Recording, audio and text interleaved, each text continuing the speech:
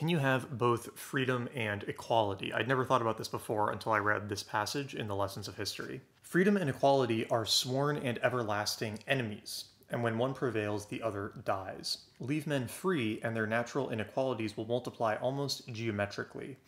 To check the growth of inequality, liberty must be sacrificed, as in Russia after 1917. Even when repressed, inequality grows. Only the man who is below the average in economic ability desires equality. Those who are conscious of superior ability desire freedom. And in the end, superior ability has its way.